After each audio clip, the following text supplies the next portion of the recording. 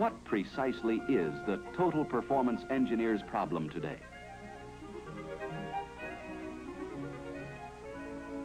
Well, you might put it this way.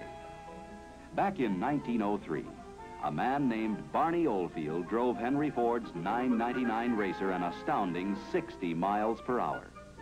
Going like 60 is still heard round the world.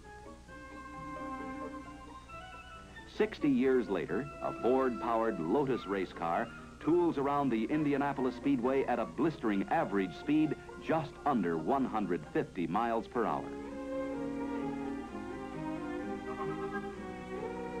In this hurry-up world of expressways, turnpikes, and superhighways, the engineer concerned with total performance has problems that lie somewhere in between. There's no Barney Oldfield at the wheel, and there's no Curtis Turner. There's just some guy named Joe and his family. They're headed who knows where or when. In any age, the automobile is the product of its time. To build a car that can be driven safely and satisfactorily by anyone in the world, and that anyone can afford to own, this is the engineer's goal, the constant challenge for total performance.